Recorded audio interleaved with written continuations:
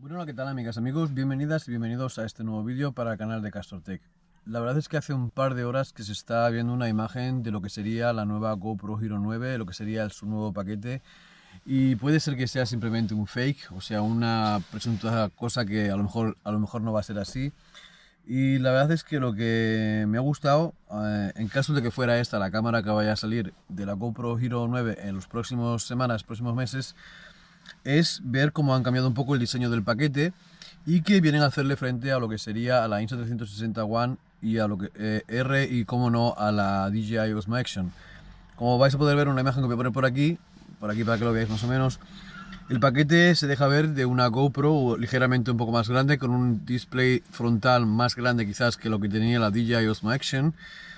y viene también con una buena fórmula Hero 9 Black con ese Hyper Smooth 3.0, ese Time Wrap 3.0, que se está viendo ahí que, lo tienen bien grande, va a ser una, una, cámara de 20 megapíxeles, me imagino que puede ser que sea de una pulgada, pero eso tampoco lo puede poner, no lo pone por ahora. Resolución 5K, 30 fotogramas por segundo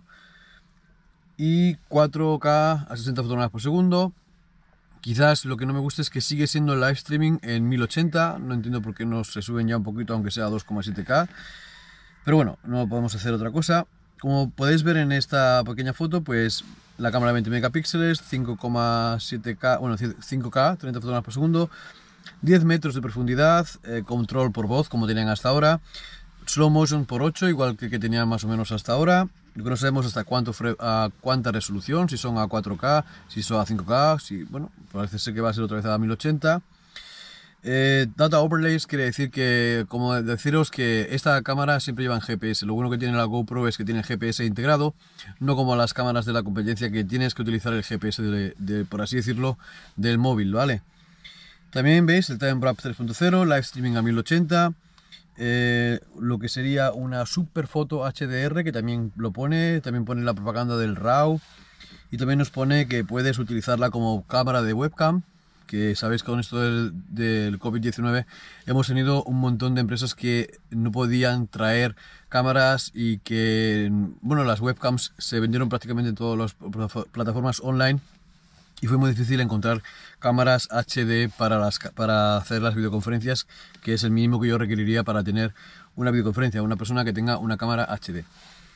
Eh, touchscreen ya lo teníamos hasta ahora y eh, como veis en el paquete va a incluir pues un estuchito, em, cargador, las zapatas corrientes de, GoPro y una batería.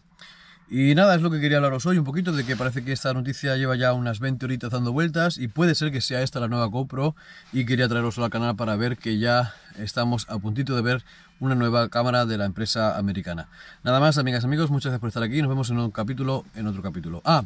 esa cámara ha sido grabada con una GoPro también. Chao.